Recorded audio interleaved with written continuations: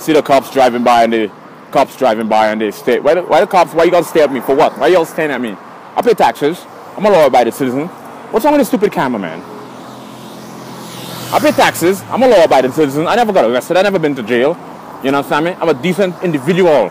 But you all have to drive by and stare at me. Why? Why you all stare at me? You're trying to racially, racially discriminate me. You know what I'm gonna do? When I see one of those cops drive by and run in front of their car, I wanna get hit by a car, a cop car, a police car. I wanna get hit by a cop car. Then sue the cop car. Stupid ass. Drive by and stare at me. For what? For what? For what? For what? I pay taxes, bitches. You're just stupid, you all with your stupid ass uniform and your dumb badge. Go harass somebody else, man. Go harass some freaking terrorist. I'm not a terrorist. I'm an American citizen. You understand? Well, partially.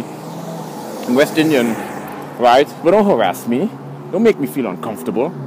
Don't try to profile me. Why? Why? You know what it is? They're scared of me. They're scared because I'm big and I'm scary. Look, I know I look scary. I'm not ashamed. I look in the mirror and I get scared. I look in the mirror and I get scared of see my. I look in the mirror and I get scared of myself. So I know I look scary. I know it's scary when I look in the mirror. I see me and I see, wow, I kind of look scary, you know. So I kind of understand why.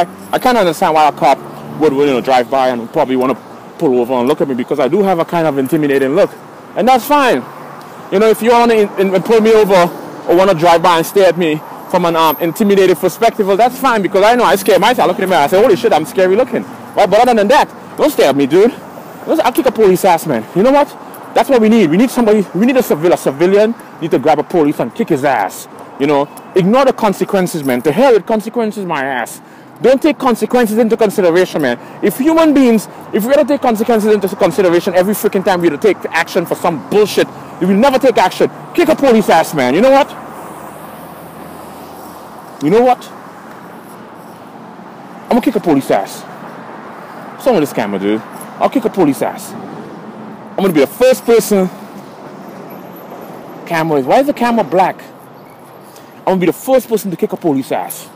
I make the news. I become famous. I become a superstar. You know what? All these days I make all these stupid ass video. I never made money, never did shit to me. All I got is a bunch of stupid laugh. I kick a police ass and I become a superstar. Yeah, look at me now. I'm famous. I kick a police ass. You know what? I want some police or some cop step to me. Step to me and say some shit. I'll kick his ass, man. I'll kick and I won't kick one. I want to kick nine cops. You know what? I'm beat up ten police. Let some cops come to me and say some BS. I kick 10 cops' ass, man. I make the news. Yeah.